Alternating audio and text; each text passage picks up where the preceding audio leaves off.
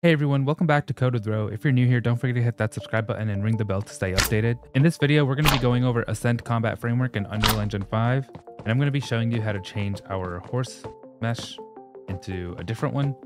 Uh, a lot of people have problems with it ragdolling as soon as you hit the play button, so I'll show you how to change it. So I'll be importing the Malbers horse assets, so the horse anim set by Malbers, just because it has a low poly horse that I'm looking for. And I'll go ahead and click add to project and add it to my uh, I called my ACF sample project Bonker and I'll hit add and you'll see that it's added here. And all I'm going to want to do is go over to my ACF horse mount BP that's already created. And now when I change my mesh into the low poly horse and hit compile and save, and if I hit play, you're going to notice that it just kind of ragdolls down like this. So it's just lying there. I mean, you can still mount it, but and my camera just goes away.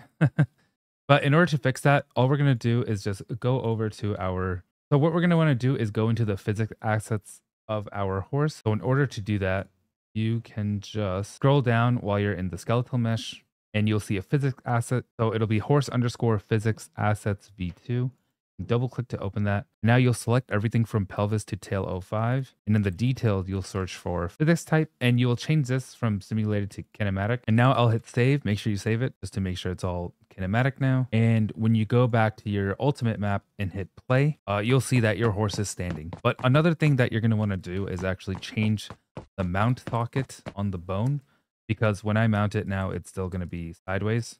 And yeah, you're just going to have to turn it 90 degrees. So when I go over to my skeleton, you're going to go over to the mount point under spine one. And I'm just going to make sure that it's on by 10 degrees at a time. And you're just going to change this rotation to 90, just like that. Or you can go over here and change relative rotation to zero, like that. And now hit control save. And now when I go over to my horse, you'll see that it works perfectly fine. And now my horse looks correct. I'm riding it. I'm grabbing where I'm supposed to. And yeah, that's pretty much it.